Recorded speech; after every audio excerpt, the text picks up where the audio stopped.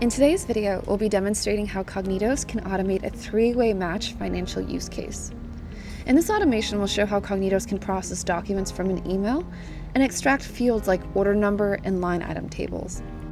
Then the automation will find the corresponding data in Salesforce, and lastly confirm that the ordered items match and the prices for the order confirmation, packing slip, and Salesforce opportunity all reconcile. Once confirmed, a confirmation email is sent and the Salesforce opportunity is updated to closed. We'll start the automation by showing the triggering email. This email contains the attachments for the order confirmation and the packing slip. Note that the item being purchased in this case is a syringe for $312.02. We also want to show the status of Salesforce before the automation is run. You can see the opportunity for the Jurassic Science account, that the opportunity is in the negotiation phase, and that the product tied to the opportunity is that same syringe also listed at $312.02. Let's shift over and watch the automation kick off.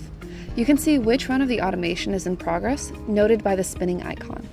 You can also see some of the English that went into building this automation while it runs.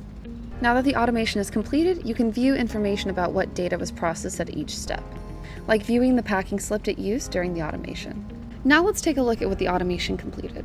As a final step, the automation can send out an email to a designated user with a note stating that the process was successful, as well as a combined PDF including all of the documents used in this automation for tracking purposes.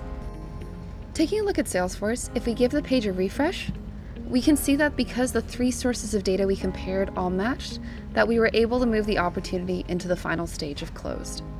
This was one example of a finance and accounting use case that can be automated using Kognitos. If you have any other ideas or would like to learn more, please reach out. And thank you for watching.